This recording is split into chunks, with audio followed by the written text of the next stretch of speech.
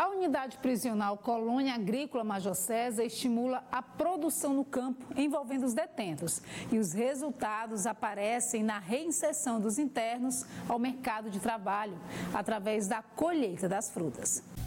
O campo agrícola foi implantado por internos da Colônia Agrícola Major César Oliveira, no município de Altos. Foram plantados dois hectares com melancias e a colheita superou a expectativa, 20 toneladas.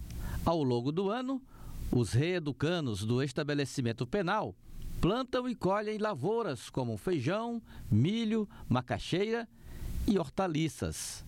As melancias serão vendidas e o saldo será revertido para investimentos no próprio campo agrícola do estabelecimento penal Major César Oliveira. A nossa gestão está retornando esse caráter agrícola da colônia agrícola Major César, uma penitenciária de regime semiaberto. Lá nós colocamos é, esses internos que lá estão para trabalhar, porque a cada três dias trabalhado, um dia remido na pena. E inventamos essa produção agrícola lá que vai dando resultados muito positivos. Já plantamos feijão, macaxeira é, e agora é, nesta terça-feira nós colhemos mais de 20 toneladas de melancia. Né? Isso nos causa bastante alegria porque vê esse trabalho, esse retorno do Reeducando para a sociedade. Beneficia o sistema prisional também, porque essa colheita vai ser destinada para algumas unidades e outras vai ser revendida.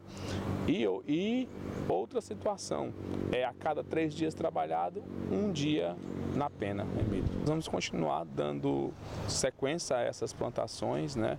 Agora a gente vai plantar milho também e estamos organizando esse investimento dessa plantação de melancia vai ser investido também para unidade, a gente vai aumentar nosso, nossa irrigação e vamos continuar investindo, porque a gente acredita que dois pilares que sustentam o equilíbrio do sistema prisional são a educação e o trabalho. E é nisso que nossa gestão vem investindo com muita força, fazendo com, com que o nosso reeducando possa estudar dentro das nossas unidades, mas também trabalhar.